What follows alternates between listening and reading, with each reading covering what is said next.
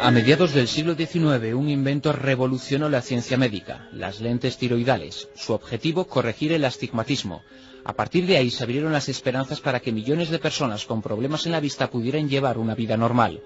Pero eso es lo que nos dice la historia, una historia que comenzó a desestabilizarse en 1966. Ahora mismo les contamos por qué. Pero antes nos trasladaremos a otra fecha, año 1849. Al tiempo que se desarrollaban las primeras lentes, el arqueólogo Austen Henry Layard excavaba en el Palacio de Kalú, la antigua capital de Asiria, más conocida como Nimrud. Entre las innumerables piezas que rescató, descubrió una lente de cristal. Una de sus caras era plana, la otra convexa. Posiblemente se trata de la más antigua prueba de lente incendiaria y de aumento, dijo Layard. Pero en eso se quedó, en tan solo un probablemente.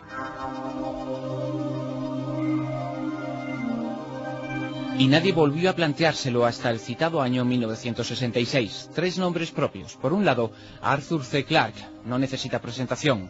Por otro, Robert Temple, profesor de la Universidad de Louisville y autor de libros como El misterio de Orión, en donde demuestra que nuestros ancestros poseían saberes astronómicos que creíamos propiedad del hombre moderno. Cuando Temple conoció a Clarke, este le presentó a un viejo amigo, Derek de Sola Price, profesor de Historia de la Ciencia de la Universidad de Yale. Sola Price llevaba un tiempo inquieto a propósito de una extraña pieza que se encontraba en el Museo Británico de Londres. Tenía origen asirio y parecía una lente. Se trataba del objeto descubierto por Layard. Así, cuando Clark conoció a Temple, supo que era el enigma perfecto para el investigador norteamericano, el investigador que se haría cargo del enigma. La investigación resultó apasionante. La supuesta lente fue datada en el año 700 a.C. Se descubrió que fue pulida a partir de una pieza de cuarzo de gran calidad. Un cuarzo sin la más mínima imperfección interna. Temple dice de ella que es clara y transparente. Luego encontró evidencias de que tenía un marco de metal, una especie de montura. Finalmente el investigador esgrimió su conclusión tras años de estudio. Todo apunta a que se trata de una lente de forma tiroidal elaborada a propósito con esa forma, y las lentes de este tipo solo tienen un uso, corregir el astigmatismo.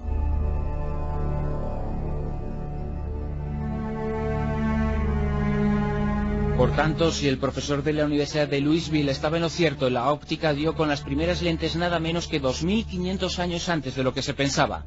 Aquello fue más que suficiente para que Temple se dedicara a buscar más pruebas de la existencia de óptica avanzada en la antigüedad y las encontró. Las encontró a cientos. Habían pasado desapercibidas, sin que nadie reparara que su uso es el mismo que el que se le da en la actualidad.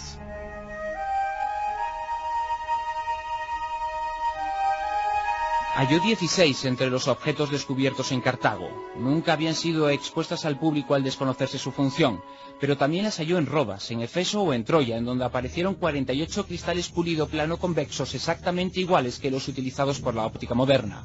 Su búsqueda le llevó, como no, al antiguo Egipto. Halló allí decenas de ellas y pruebas más que sobradas para demostrar que los míticos habitantes de la civilización que se erigió a orillas del Nilo desarrollaron una civilización tecnológica óptica avanzada.